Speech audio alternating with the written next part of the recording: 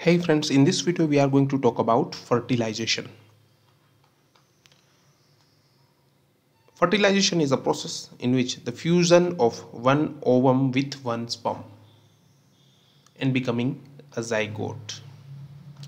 As we know the ovum has 22x and the sperm can have 22 x or 22y. This is a female pronucleus and this is a male for pronucleus. Now when the sperm pierces the ovum, the pronucleus of both these uh, both these cells will rearrange themselves and become a single genome that will have a, the genome of baby and it is called zygote okay. Uh, the fertilization is happening in the ampulla part of the fallopian tube. So you know that the sperm has to travel from vagina to cervix to uterine cavity to the tubes. And then they can reach to the ovum. The one term capacitation is very important. Capacitation is the hypermotility of sperm at the end of the journey that means when they reach to the ovum they get hypermotility. That is called capacitation sperm attaches to the zona pellucida and zona pellucida is what? It is cell membrane of oocyte secondary oocyte. And this sperm have some enzymes tissue lytic enzyme hyaluronidase acrosin they will be, uh, help the sperm pierce the oocyte. And we will have a zygote that that is that have male and female pronucleus? Fusion.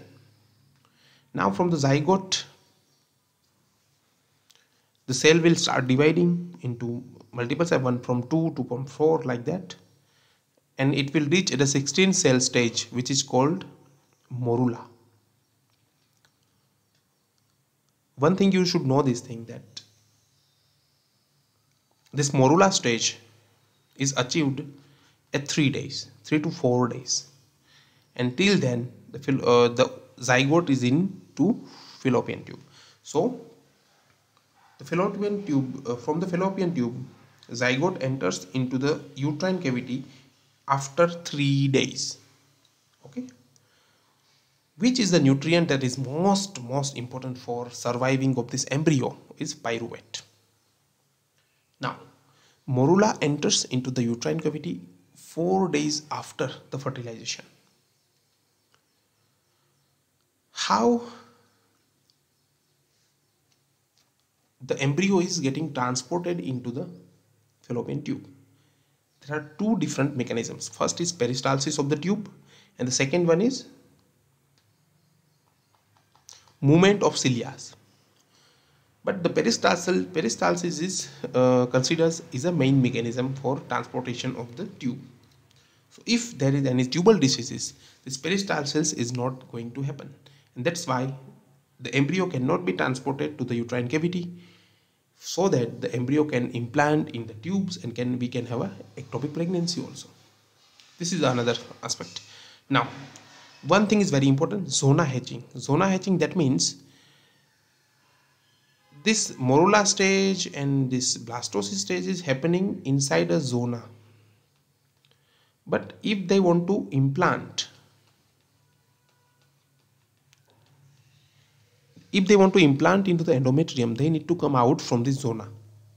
Like the uh, the uh, hen's egg comes out you know. The baby of hen comes out from the egg. Similar procedure. It's called zona hatching.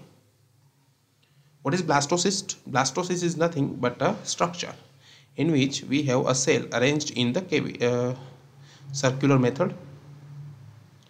We have inner cell mass and we have this kind of trophoblastic structure.